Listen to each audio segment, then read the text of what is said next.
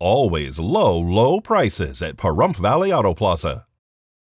Two SUVs collided on State Route 372 just west of State Route 160 around 10 a.m. Thursday morning. Nye County Sheriff's Office deputies and auxiliary units and Pahrump Valley Fire and Rescue responded to the scene to investigate the crash and assess the vehicle occupants. Traffic was rerouted around the damaged vehicles. No one claimed any injuries at the time of the crash. The Nye County Sheriff's Office Traffic Division is handling the investigation.